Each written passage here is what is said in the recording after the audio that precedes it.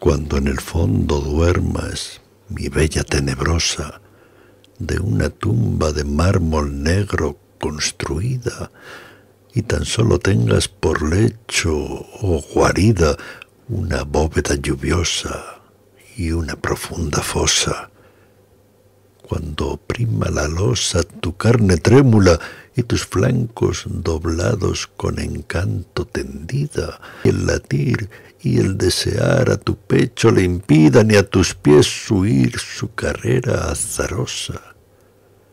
La tumba confidente de mi sueño infinito, porque la tumba siempre comprenderá al poeta, en esas largas noches en las que el sueño está prohibido, te dirá, ¿de qué os sirve, indiscreta cortesana, no haber conocido lo que los muertos lloran?